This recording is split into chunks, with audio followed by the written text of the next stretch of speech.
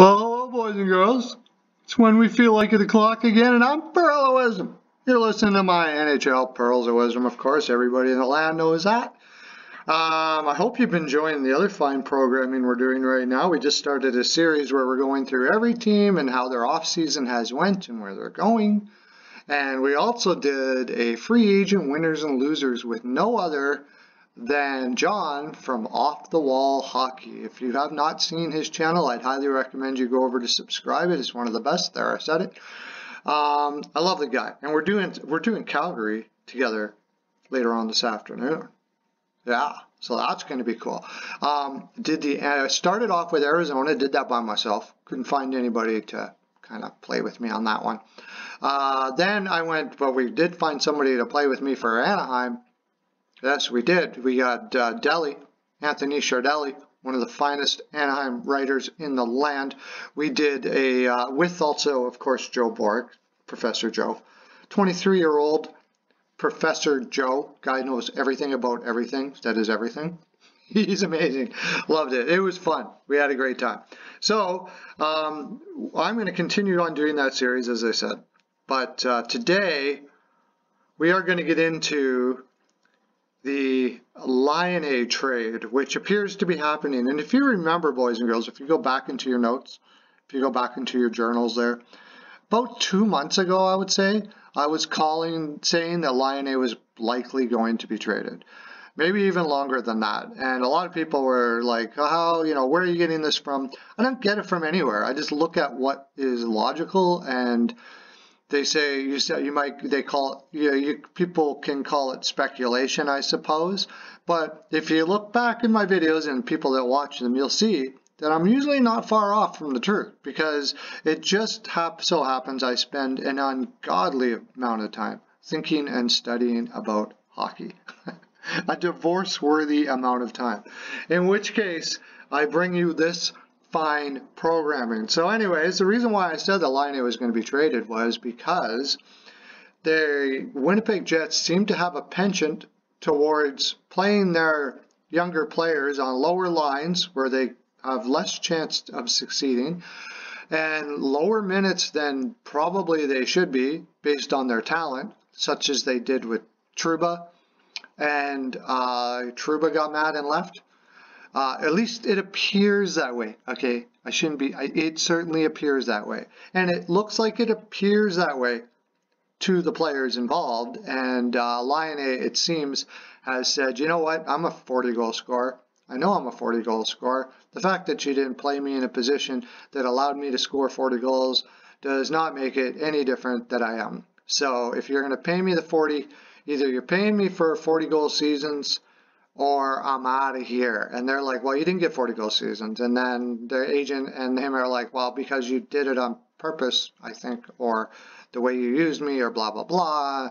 And then the team will say, well, you know, you should be happy that you're, uh, whatever, you know, something like that.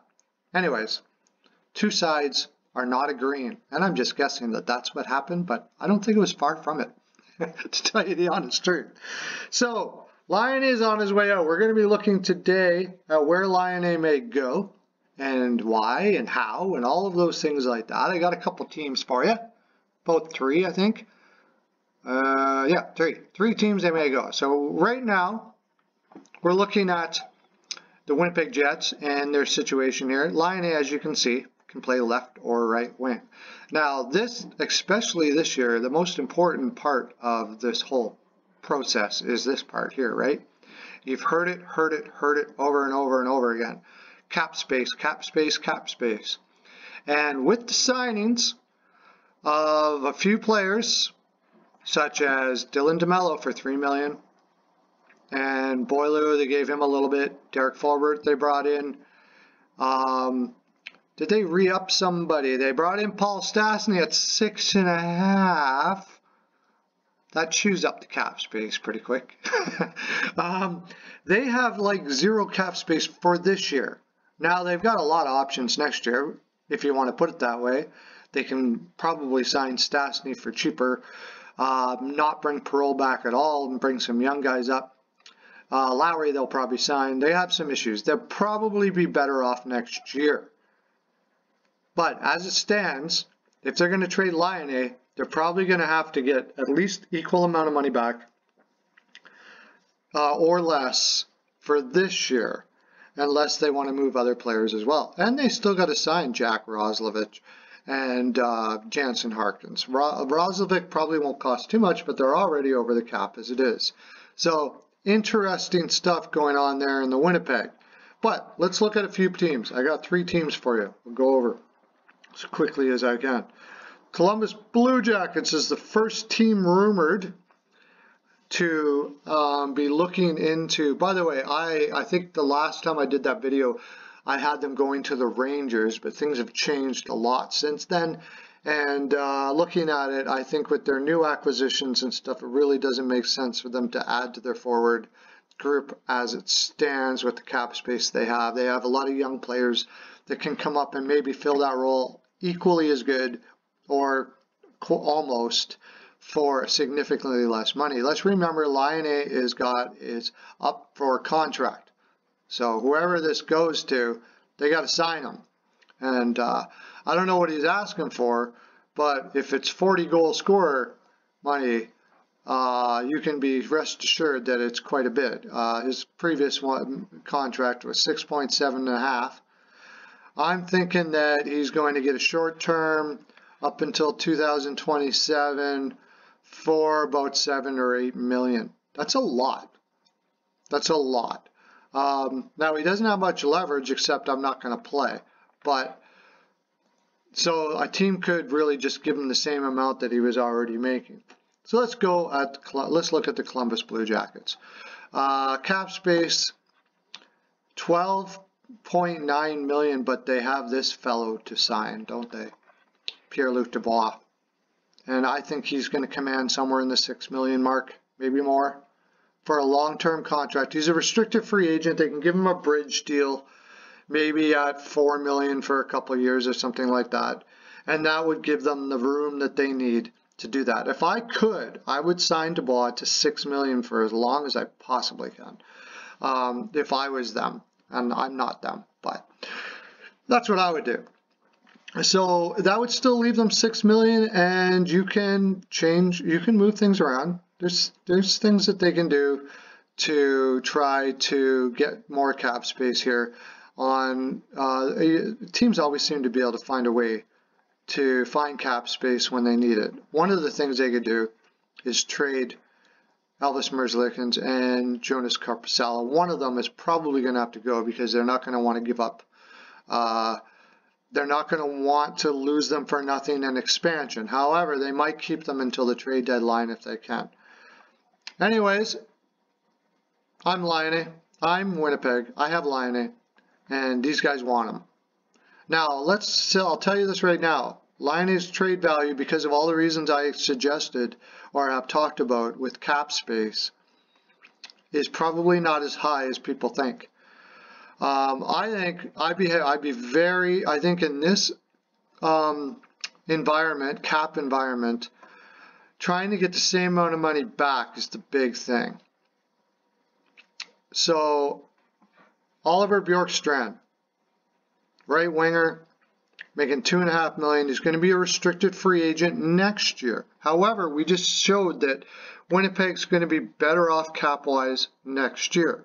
So if you need to sign him for a raise, it's not that bad of a deal. Oliver Bjorkstrand, by the way, has been become somewhat of a 25 goal scorer in the league, 20 somewhere around there. Uh, 36 points in 49 games last year. And I think if he played for a more offensive team like Winnipeg, he could put more. I just really like him. I still think he has some growing to do. He's only 25. He's probably a 50 to 60 point winger in the league, and he actually plays the game well all over the ice. So I would be asking for a guy like him. I think they would probably try to get Nick Foligno on me, and I'm like, nope. Got Gustav Nyquist.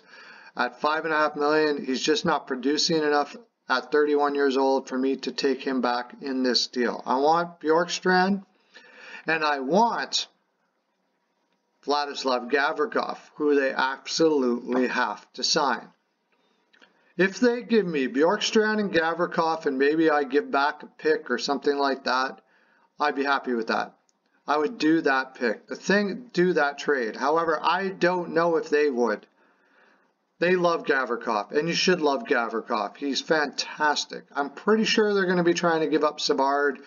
And even at that, if we remove Savard, let's look at the depth chart here.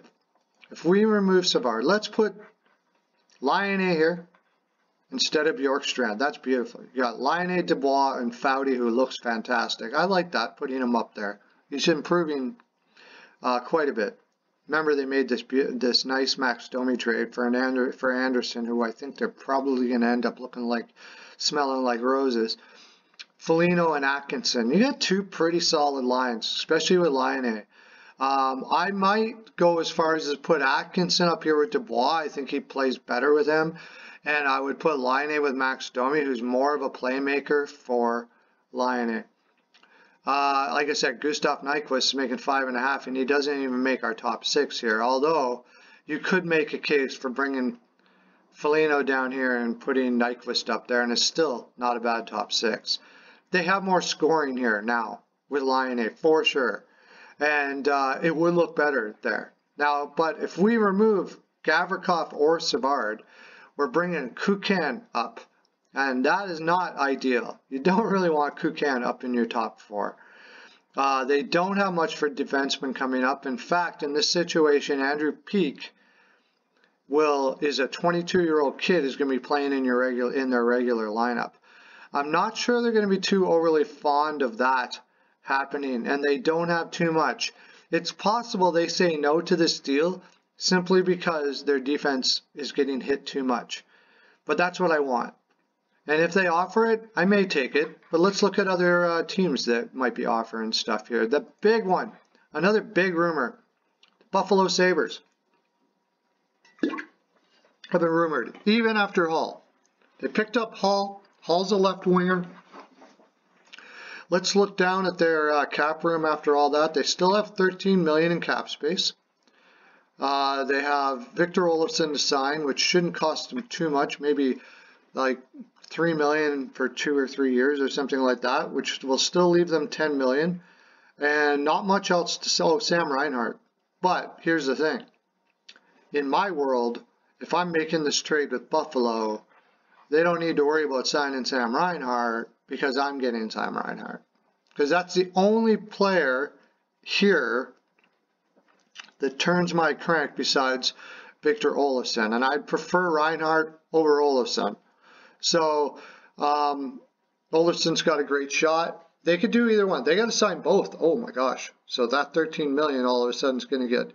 But either way, Sam Reinhart's probably going to demand five to six million dollars. Something like Jordan Eberle money, five and a half million for as long as you can get them for. So if, if we're trading Laine in that situation, we're getting back quite a bit of money back here with Sam Reinhart because we still have to sign him. Then we need a defenseman, right? We already talked about that. We're going to need a defenseman because our defense in Winnipeg is pretty weak. And the only defenseman that I would be happy with here, honestly, that, I mean, I would love Jokiharju, but there's no way they're doing both of those. Uh, they they may trade Jokiharju and Tage Thompson or something like that, and I consider that and maybe a first round pick. Jokiharju, Tage Thompson, and a first round pick next year on a team that may miss the playoffs, I would consider that. But really, I want Jake McCabe. I want Jake McCabe and um, what did I say? And Sam Reinhart. Sam Reinhart and Jake McCabe. I probably am okay with that deal. I'm taking money back almost the same. I can work over in Winnipeg. I can work my two million or whatever around that I may cap by the start of the season, and I'm all right. But a big uh, left defenseman like Jake McCabe who can hit, play in my top four, and uh, Reinhart, who is a serviceable right winger slash center, to me is decent value for a guy like Laine, who, by the way, it isn't really the best value for, who should probably be bringing back more than this. But a combination of the fact that Winnipeg really has already played their cards, so they have very little leverage. It's pretty much known that Laine is leaving. That's never good for trade value. And the fact that we're in a cap world where every dollar counts, it makes it difficult to get actual value back for Laine. But that would be my trade there. Now we go to the Carolina Hurricane. That's my last one of the Carolina Hurricane. Now, people ask, why would they want a goal, somebody like Laine there in uh, Carolina? Well, in some ways, I understand what you're saying because you really need to be taking care of this part in Carolina. Mrazek and Reimer is your number one and two. However, they're both off the books next year. And uh, that being the case, um, they can. It looks like they're just going to run with them one more year. Well, if that's the case, first of all, once they're off the books, you can get yourself a solid goaltender to play, right, next year. Um, second of all, you can get Laine and give up the same amount of money that you're so you're not going to be adding too much more um, to the cap. We didn't look at where's Carolina's cap at. Carolina's cap is at current cap space is five million. Not that great uh, with Warren Foegele to sign. But here's my offer if I'm Carolina. This is who I want if I'm Winnipeg. If I'm Winnipeg, I want Martin Necas and Brady Skjei. That's who I want. Uh, if you offer Brady Skjei and Necas, I'm probably going to accept that deal. Uh, Necas doesn't need to get paid for a couple years. Works out perfect for us. Uh, Brady Skjei is getting all the money at five million. It evens it out a little bit, so they're still able to sign Laine. And as far as uh, Brady Skjei, as it stands, maybe the odd man out in uh, when it goes to expansion anyways because Dougie Hamilton's going to be protected, Slavin's going to be protected, and then it's between Pesce and Skjei. And I have a feeling as long as Pesce's okay from his injury, Pesce's going to be the one they want to keep. And Skjei is the one they're going to want to let go. So you trade him away and you get value for him anyways in a really good deal. As far as Winnipeg is concerned, they get a great, a very good two-way defenseman that can play on their left side, and I absolutely love Martin Necas. I think he is going to be a fantastic player in this league. He got 36 points in 64 games last year as a 22-year-old. This guy could be a 70-point player on your team, which also may be why it doesn't happen because it's quite often quite uh, possible that Carolina goes no, no, no. But let's look at that depth chart again, boys and girls. Look at what would happen if you took Laine, Svechnikov, Aho, Teravainen, or Laine, because Laine can play right. Remember. You can drop to Dzingel. You can put Laine on the left side of Vincent Trocheck and Nino Niederreiter. What?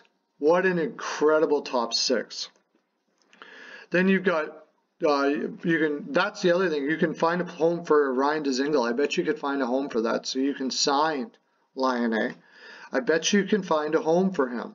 As far as for defensemen are concerned, if you're losing Brady Skjei, um, yeah, Jake Gardiner may not be the best option up there in the top four, but he's not a terrible option. And you have Haydn Fleury and Jake Bean has been sitting in the minors for a long time. Joey Keane, they've got a lot of defensemen that they need to make room for anyways, which kind of made people wonder why they got got Brady Skjei to begin with. But that was because Dougie Hamilton was hurt and all kinds of stuff. I kind of understand it. But they can give that up now, if you're going to have this goaltending tandem of Mrazek and Reimer, you better be able to score all the hell. And now you're adding a possible 40 goal scorer. If if we wanted to, we could put Svechnikov, Aho, and Laine as our top line, man. That'd be one of the best top lines in the league. This is uh, in the league. And then you could put, you know, Teravainen down here with Trocheck, and Niederreiter can play on the left too, or keep Dzingel there. But you, so many options on this lineup. This lineup is absolutely fantastic. Um, again, I want Necas and I want Brady Skjei, Carolina. That's what I'm asking. Uh, so if if I don't get something like that, I'm looking for a first round draft pick next year with anybody else. Like uh, Brett Pesce, possibly I could accept that deal, but I'm really going to want to talk to my doctors to find out if this this kid's okay because he was really injured. I would consider that, but I think they'd be more likely to offer up Brady Skjei. For a lesser forward like Nieder, Nito Niederreiter, plus taking all this cap space off of their hands, I would want a first on top of it because I'm going to have to get rid of somebody on my lineup to make up for that. And I'm not really a huge Niederreiter fan. So I don't think that's really going to work for me. If I want to give, if they want to give up to Dzingel, and they're just, and I can't find anybody else really to give me a better deal than this, uh, than what I exactly what I want from my other trades. I'm going to want a first and Brady Skjei with Dzingel uh, because I'm going to need somebody better than Dzingel down in the future. But those are the sort of trades I could see happening for Laine. This is the one that I'd be pining for if I was the uh, Jets. Now, another one, I'm just going to mention another one really quick, and that's Montreal Canadiens. The Montreal Canadiens were rumored a lot, but with all the additions that they've done now, and the fact that they don't really have a top four defense to offer, I took them off the table. That's my full 42% boys and girls. I hope you've enjoyed this fine programming, and uh, I'm getting a little long on the tooth here. 20 minutes I've talked about this, but I had much frolic. Did you have much frolic? I should hope so subscribe bell.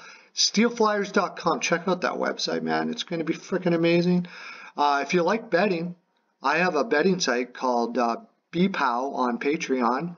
We're making tons of money there. Once hockey season gets started, we really are rolling. But I'm doing tennis, kicking butt on tennis. We're kicking butt on football. Baseball's been a little rough this year, I have to say. But all the other ones, were still up money. Go check it out.